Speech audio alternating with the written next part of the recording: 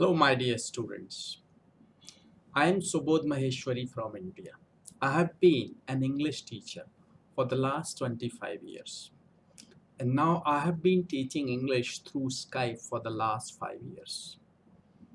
And here I am going to record that new video for you just to help you to improve your speaking. And here I have taken a topic that is about bank. That means the people actually open their account in bank but there are many accounts in the bank. You can choose one of them to deposit money according to your need. So let's start without wasting our time. Just what you have to do listen to that video carefully. Try to speak the topic in your own words to speak English or to improve your speaking. In case of any doubt or problem, you may contact me.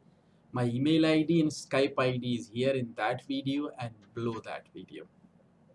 The topic is here and it goes like that. There are four types of accounts in a bank.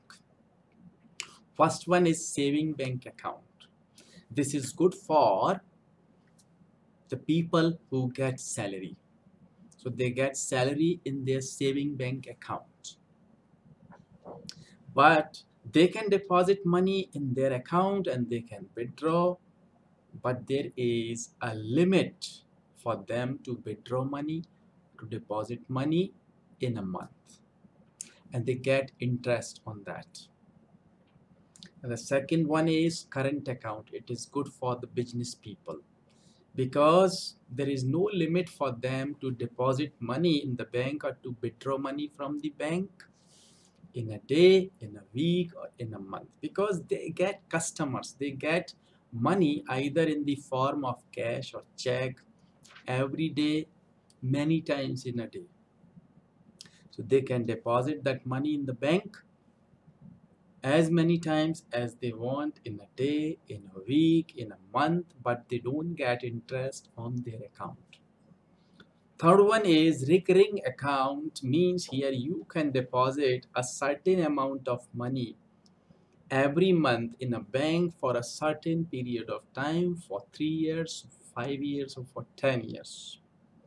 So you get that amount at the time of maturity with interest this is good for those who want to save money every month. Now fourth one is fixed deposit account. You can deposit lump sum amount of money in that account for a certain period of time.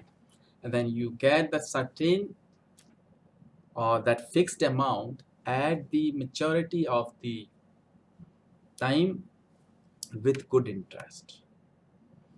So here these are the accounts in a bank. So please listen to that carefully again and again. Try to speak the topic in your own words to improve your speaking. Okay? So thanks for watching that video and don't forget to subscribe to my channel. Okay thank you. Thanks for watching that video and you may contact me. My email id and skype id is here in that video and below that video. Okay? Thank you